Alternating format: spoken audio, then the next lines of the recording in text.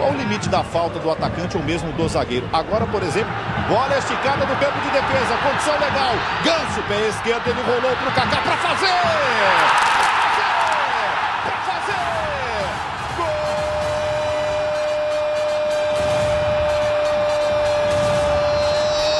São Paulo!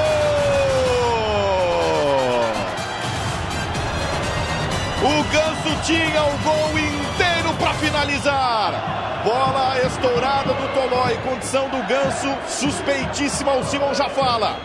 O Ganso preferiu o passe a chutar para o gol.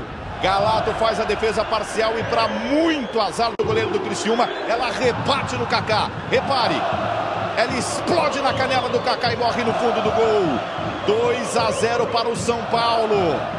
Gol do Kaká, assim assim, meio que sem querer também vale, Mário. Se descreveu com exatidão